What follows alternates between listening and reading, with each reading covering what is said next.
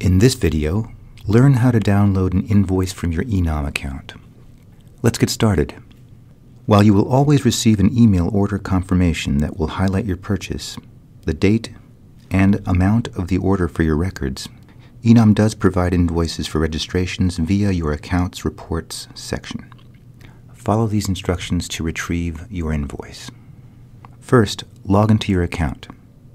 Then, from your dashboard, click My Account, then My Reports.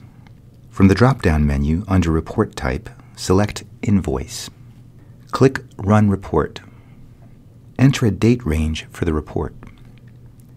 Next, select the types of transactions to be included in the invoice. The transaction types are account refills, domain registrations, or domain renewals. If you have or require a VAT number to be displayed, enter it in the provided field. Click Submit. You can select one of three download options PDF, HTML, or CSV. Congratulations! You have successfully downloaded an invoice from your account. If you have further questions, feel free to contact us via www.enom.com/help.